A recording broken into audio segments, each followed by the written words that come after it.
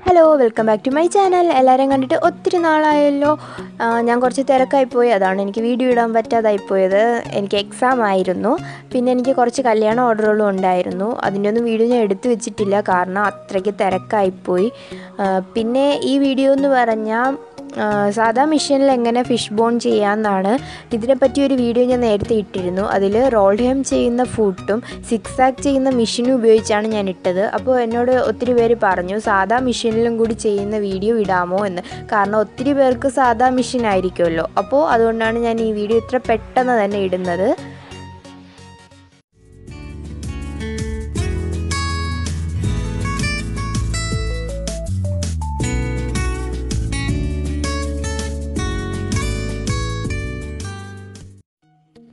ഇതൊരു കുട്ടി ഫ്രോക്കാണ്. ഇതിന്റെ തുമ്പിലാണ് നമ്മൾ സ്റ്റിച്ച് ചെയ്യാൻ പോകുന്നത്. ഞാൻ നേരത്തെ ഇതിനെപ്പറ്റി ഒരു വീഡിയോ ഇട്ടെന്ന് പറഞ്ഞിട്ടില്ലേ? അപ്പോൾ അതിൽ ഞാൻ ഡീറ്റെയിൽഡ് ആയിട്ട് എല്ലാം പറഞ്ഞിട്ടുണ്ട്. ഇതിൽ ഞാൻ വലിയ ഡീറ്റെയിൽഡ് ആയിട്ടൊന്നും തന്നെ പറയുന്നില്ല. അപ്പോൾ ആ വീഡിയോ കാണാത്തവർ അതൊന്ന് കാണുക. അപ്പോൾ നിങ്ങൾക്ക് കുറച്ചുകൂടി മനസ്സിലാവും. ഞാൻ ദേ കണ്ടില്ലേ? സാധാ മിഷ്യനാണ് എടുത്തിരിക്കുന്നത്. സാധാ ഫുട്ട് സാധാ ഫുട്ട് എന്ന് പറയുമ്പോൾ നമ്മൾ റെഡ് ഡബിൾ സൈഡുള്ള സാധാ ഫുട്ടാണ് എടുത്തിരിക്കുന്നത്. പിന്നെ കങ്കൂസ് നൂൽ എടുത്തിട്ടുണ്ട്. കങ്കൂസ് നൂൽ കുറച്ച് കട്ടിയുള്ളതാണ്. നിങ്ങളും എടുക്കുമ്പോൾ ശ്രദ്ധിക്കുക. കുറച്ച് കട്ടിയുള്ളത് എടുക്കുക. അല്ലെങ്കിൽ കേൾസ് നമുക്ക് കറക്റ്റായിട്ട് കിട്ടത്തില്ല. ഓക്കെ ഇനി നമുക്ക് സ്റ്റിച്ച് ചെയ്യുന്ന എങ്ങനെയാണെന്ന് നോക്കാം. സാധാ മെഷീനാണ് ഇതിൽ സിക്സ് സ്റ്റിച്ച് ചെയ്യാൻ പറ്റത്തില്ല. അപ്പോൾ നമ്മൾ സ്ട്രെയിറ്റ് ആയിട്ട് സ്റ്റിച്ച് ചെയ്യുന്നതിന് പകരം സൈഡായിട്ടാണ് സ്റ്റിച്ച് ചെയ്യുന്നത്. എങ്ങനെയാണെന്ന് വെച്ചാൽ നമ്മൾ സ്ട്രെയിറ്റ് ആയിട്ട് സ്റ്റിച്ച് ചെയ്യുമ്പോൾ സ്ട്രെയിറ്റ് സ്റ്റിച്ച് കിട്ടും. അപ്പോൾ നമ്മൾ എന്താ ചെയ്യേണ്ടതെന്ന് വെച്ചാൽ നമ്മൾ സൈഡായിട്ട് ഇതുപോലെ സ്റ്റിച്ച് ചെയ്യുക. സ്റ്റിച്ച് ചെയ്യുമ്പോൾ നിങ്ങൾക്ക് മനസ്സിലാവും. കൂടുതൽ കൺഫ്യൂസ് ചെയ്യുന്നില്ല ഞാൻ.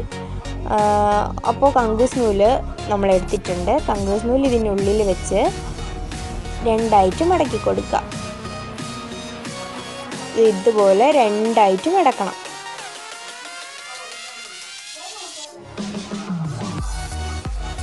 ഓക്കെ ഇനി എന്താണെന്ന് വെച്ചാൽ നമ്മൾ നമ്മുടെ രണ്ട് വിരൽ കൊണ്ട് നല്ല സ്ട്രെച്ച് ചെയ്ത് ഇങ്ങനെ വെക്കുക എങ്കിലേ നമ്മൾ സ്റ്റിച്ച് കറക്റ്റായിട്ട് വീഴത്തുള്ളൂ.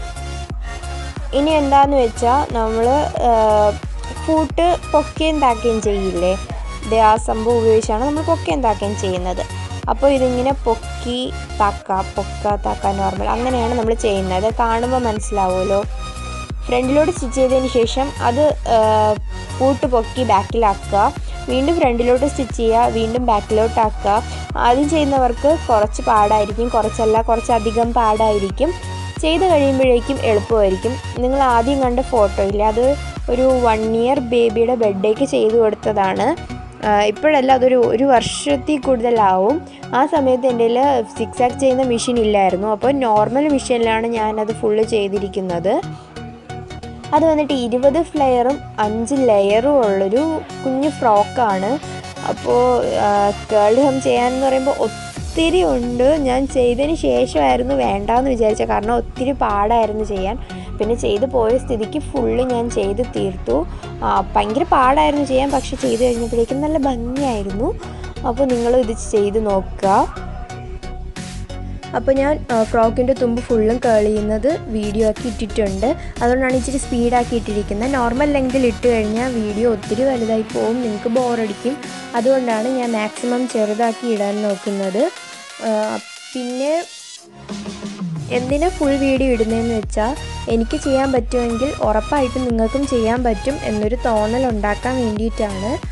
അപ്പോൾ ഞാൻ ഫുൾ വീഡിയോ ആയിട്ട് ഇടുകയാണ് പിന്നെ ഇത് സോഫ്റ്റ് കോട്ടൺ മെറ്റീരിയൽ അല്ല. കോട്ടൺ ആണ് പക്ഷേ കുറച്ച് ഹാർഡായിട്ടുള്ള കോട്ടൺ ആണ്. അതുകൊണ്ട് തന്നെ ഇത് സ്ട്രെച്ചബിൾ അല്ല. അതുകൊണ്ട് ഓക്കെ എന്ന രീതിയിലുള്ള കേൾസ് ആണ് വന്നിരിക്കുന്നത്. ഞാൻ നേരത്തെ ഇട്ട വീഡിയോയിൽ നെറ്റ് ഫാബ്രിക് ആണ്. അതിൽ നല്ല കേൾസ് വന്നിട്ടുണ്ട്. അത് കാണാത്തവർ കണ്ടു നോക്കുക. കണ്ടിട്ടുള്ളവർക്ക് മനസ്സിലാവും. പിന്നെ ചെയ്ത് തീരാറായിട്ടുണ്ട്. ആദ്യമൊക്കെ ഞാൻ ചെയ്തപ്പോഴും എനിക്കും ഭയങ്കര പാടായിരുന്നു. ഇപ്പോൾ എനിക്ക് പാട് തോന്നുന്നില്ല കേട്ടോ. ഇപ്പോൾ എനിക്ക് ഭയങ്കര എളുപ്പം പോലെയാണ് തോന്നുന്നത് കാരണം ചെയ്ത് ശീലിച്ചു. അതുപോലെ നിങ്ങൾക്കും ആദ്യം ചെയ്യുമ്പോൾ പാടായിരിക്കും. പിന്നീട് ചെയ്യുമ്പോൾ എളുപ്പമായിരിക്കും. അപ്പോൾ നമ്മുടെ ഫ്രോക്ക് ഇവിടെ റെഡി ആയിട്ടുണ്ട്. വീഡിയോ ഇഷ്ടമായവർ ലൈക്ക് ഷെയർ കമന്റ് ചെയ്യാൻ മറക്കരുത്. സബ്സ്ക്രൈബ് ചെയ്യാതെ ആരെങ്കിലും വീഡിയോ കാണുന്നുണ്ടെങ്കിൽ താഴെ കാണുന്ന റെഡ് സബ്സ്ക്രൈബ് ബട്ടൺ ഒന്ന് ക്ലിക്ക് ചെയ്യുക.